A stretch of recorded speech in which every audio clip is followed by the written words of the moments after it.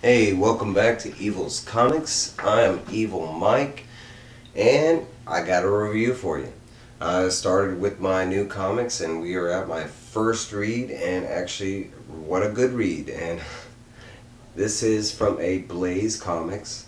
This is Porcelain from. It is. Uh, it's actually done. Uh, written and art by Maria Llovet. It is uh, letterings by Sadia Timofonte and it has a whole bunch of different covering artists. This cover artist is Sabine Rich and I didn't even know it but it is an homage cover to Batman and Harley Quinn I think. Hold on one second I get very specific but it is a yeah Batman Harley Quinn parody cover.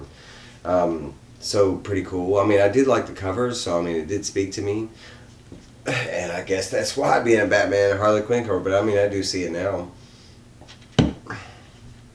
Alright, so what this comic is in a nutshell, it is kind of a horror title. Uh, you kind of get that from the front. Back on the back cover it says, Welcome to the Dollhouse. Um, basically, we, we enter the story in a dream sequence and it follows the main character, Beryl and Beryl here is having a dream, and um, technically it doesn't even look like Beryl. Could be somebody else. This could be like a completely different person. Um, we just know that somebody is dreaming, and she's dreaming of being like kidnapped, and she gets this number on her forehead, um, and we see like our first doll. And right here on the doll forehead too, she has the number on her head. So the number, I take it, does play significance. It does say right here, it says uh, an anonymous quote, there are always two choices, two paths to take. One is easy, and its only reward is that it is easy. And that's pretty true. I mean, uh, there, there, there's a reason you got the hard and easy. Um, I generally like to take the hard path. It's, it's a lot more rewarding. Uh, it feels a lot more satisfying. Uh, we're, we're awoken up here in the northern desert red forest route. And it's just it shows up on the shack. We see that there's something going on the rooftop here.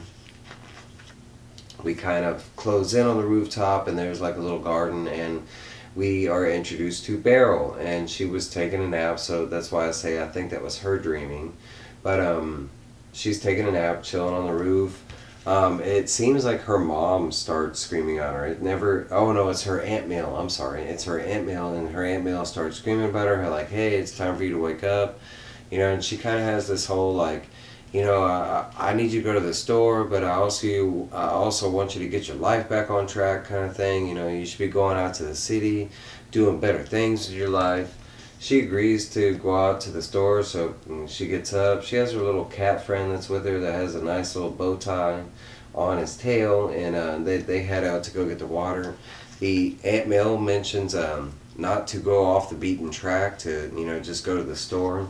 She does make it to the store after traveling through the desert for a little bit and uh, there is like an interaction. It's kind of interesting, but there's a, a a moment where money is passed, and it's like it's it's right here, but it looks like uh, some star jewelry or something like that. Like it's the size of their hand, but then it's it's actual metal, and it's yeah, it's, it's kind of cool. Um, as she's walking back, there's this house that is it's shown you know far away, so it looks small at first, but the house is shown over here that is is really really big but it, it's making music and traveling along and of course it comes near parks right along where she's where you know where she's walking. She hears the music and is drawn in. And the next pages we just see her you know drop the water and get closer to the house and as soon as she gets close to the house wow, somehow she is like sucked in by this like demon thing's tongue and it even grabs the cat and yanks him in. The next thing we know, uh, Beryl is here inside the dollhouse. This is the dollhouse. And she's kind of just walking around. There is a different framed, like this one says Thanatos. And um, I, I, did look up Thanatos. It's really weird to explain that. But um, there is another one uh, Eros, and Eros is like a double meaning. It, and in Greek, it was like uh, one of the words described to use as like Cupid, the the god of love.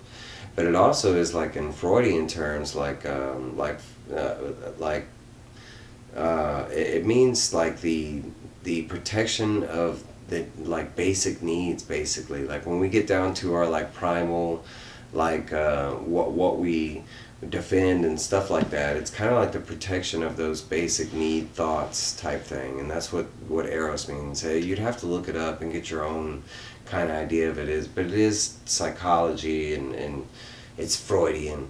Um, so I think I, I want to say it's not the the Cupid you know metaphor that they're going for with the eros because the Thanatos if you look it up it kind of leads into the secondary explanation of that why that's there.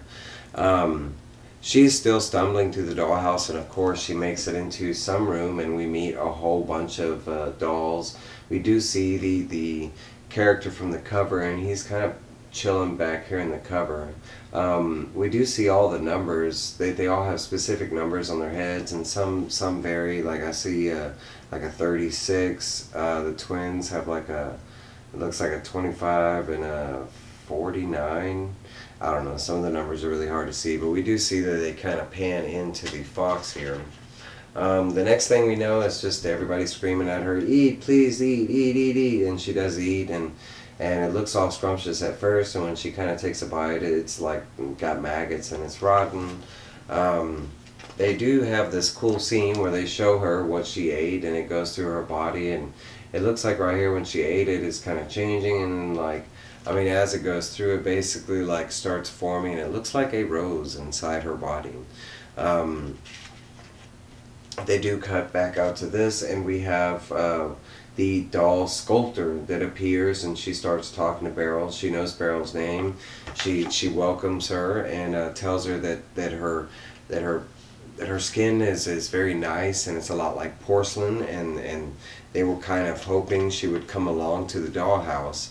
Um, the sculptor does reach out to touch uh, Beryl and, and, and Mr. Kitty uh, did not like that and, and, and looked like he he's trying to protect her. He hisses very heroically. Um, but that is it from the first issue. Uh, I mean, first off, uh, it's not a very, it's very quick. The pacing is very nice. Um, I did love all the art and the story so far. It has me intrigued. There is a, uh, you know, what's coming next in the second issue, so I can give you a little taste. Uh, it says the appearance, the appearance of a mysterious guide may be of some comfort for Beryl. For Beryl. It says, uh, but the more she learns about the dollhouse, the more frightening and confusing it becomes. With no easy exit in sight, she must keep her wits about her and find the way out before she is turned into a doll herself and stuck there forever. So it looks like that's what the main juice of the story is going to be. It's it's it's basically Beryl trying to get out of this this fantastical dollhouse that she has entered somehow. And it, it seems if she does not get out in a certain amount of time, she will be turned into a doll herself. Um, and it kind of looks like this, this uh, Mr. Mr. Fox or Mrs. Fox uh, might be some of the entertainment that might uh, keep Beryl interested in, in staying in said dollhouse.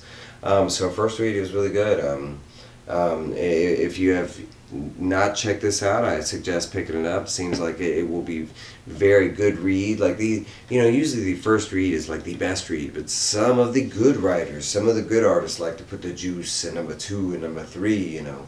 Um, but that's Evo has to say about this book. Um, let me know if you read it. If you didn't, you know, did it sound interesting about, you know, from what I told you? Um, like, comment, subscribe. I love them comments, you know. Um, I'll be back. I gotta get more reading in. Y'all have a good one.